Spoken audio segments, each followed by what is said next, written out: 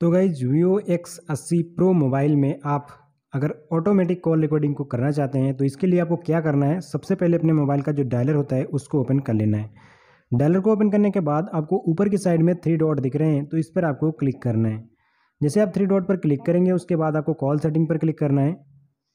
अब दोस्तों, आपको यहाँ पर एक ऑप्शन मिल जाएगा रिकॉर्ड सेटिंग का। देख पा रहे हो? रिकॉर्ड सेटिंग है, इस पर क्लिक करना है। उसके बाद आपका जो होगा, ऊपर वाले पर सिलेक्ट होगा, लेकिन आपको सेकंड नंबर पर लिखा हुआ है रिकॉर्ड आलकाल से ऑटोमेटिकली इस पर सिलेक्ट कर देना है। इतना करने के बाद दोस्तों, आपका जो ऑटोमेटिक कॉल रिकॉर्डिंग है, वो चालू हो जाएगा, यानी कि अब आपकी सारी की सारी कॉल जो है रिकॉर्ड की जाएँगी।